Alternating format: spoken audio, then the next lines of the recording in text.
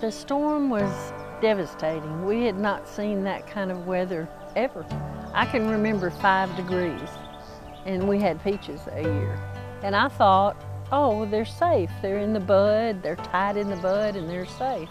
But it actually killed the buds. They were freeze dried, and it killed some of the tips of the redwood as well, parts of the tree.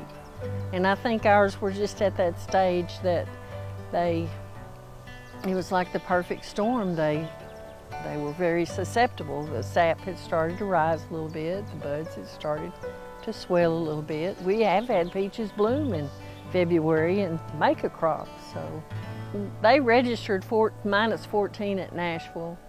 I registered minus 8 at my house, so I, I don't know about the orchard, but it was cold. Uh, two varieties survived when everything else is just wiped out. My crop insurance uh, officials came this week to inspect the orchard and, and um, he says 90% loss because I have uh, 200 trees that might have a partial crop on them. So my 10% is those 200 trees, and that's out of 3,500 trees, and it's all averages. It's all, it's all maybes in farming. It's all, it's gambling is what it is.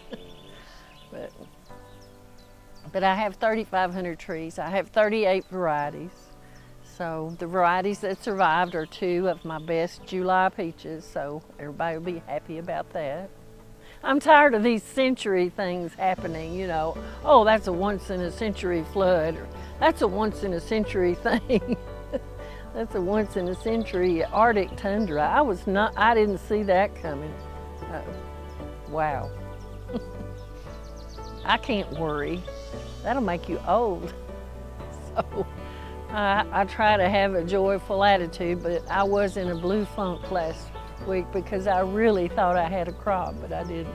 My husband was third generation. My kids will be the fourth generation, and I'm hoping fourth or fifth generation will kick in and, and want to continue doing this.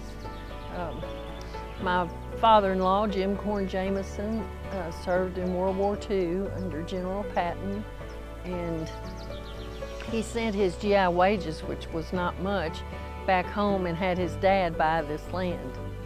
So you talk about a tradition, it's something to be proud of. And planning ahead, boy, wasn't he thinking. But I'm gonna do it. I can't stand it. I've gotta grow them. I've gotta grow them and harvest them.